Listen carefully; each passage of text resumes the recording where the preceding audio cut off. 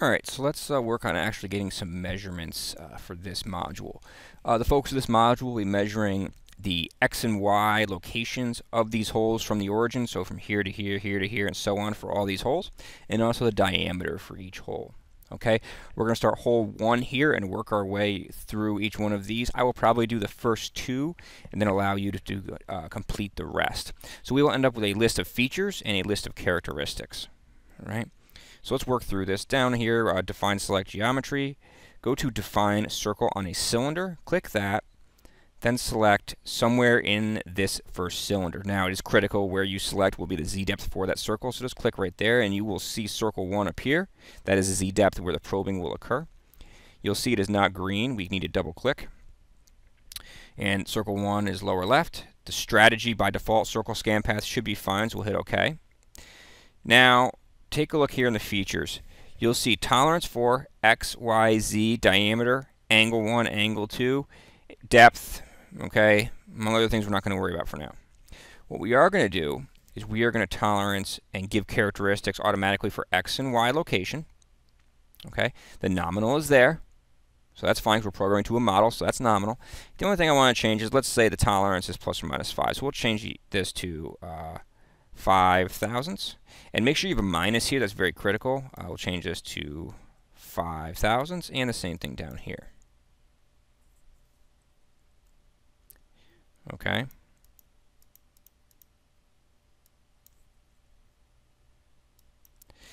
Now, the identifier is going to be what it's called in the feature list. So we'll just leave it as x value circle 1, y value circle 1. That's fine. Okay, so right now in the characteristics, you're going to have a nominal number. So 5 eighths plus or minus 5, half inch plus or minus 5. Again, that minus is critical. We're also going to output a diameter tolerance, and we will also do this just plus or minus 5, just to get used to changing this. And we'll just leave it diameter circle 1. That's fine for what we're doing. There's also roundness, um, true position. Uh, this is perfect, though. Right here is what we're looking for. So three check boxes, three updated tolerances. Hit OK. Once you do that, you will have characteristics. If you double click on the characteristics, you can change the nominal if you wanted to. You could update the tolerances. You could update the feature. That's fine. That's all you got to do. So circle 1 is done. All right, so I'll review that again. We'll go right here, create or select geometry. I always go up through up here and do define circle, uh, circle on a cylinder. We'll select circle 2. Okay, I'll drag it down in the list. We'll double click circle 2. We'll click the X, Y, and D check values. Okay. Tolerance class now, if we do last input, it should go to plus or minus 5, saves you a step. Hit OK.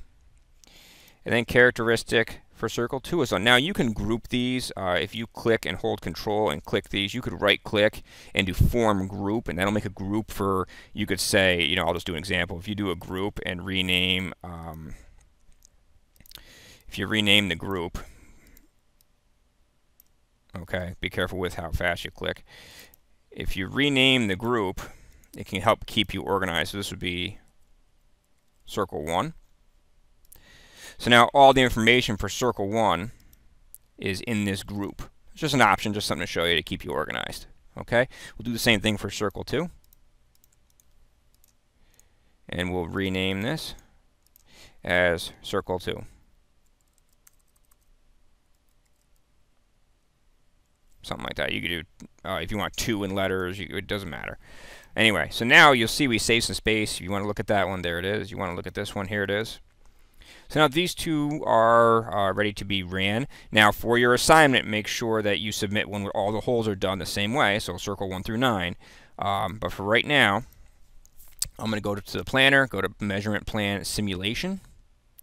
I'm going to go to run. Everything should be good here. We're going to hit start. I'll slow it down.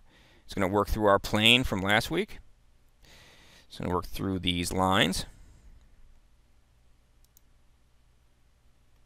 And again, if you scan here, that's fine. I'm not sure what the default settings are on Citrix, so it's irrelevant.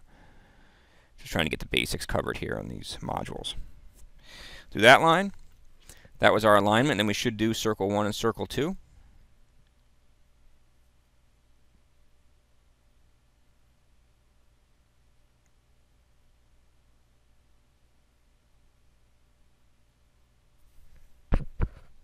All right.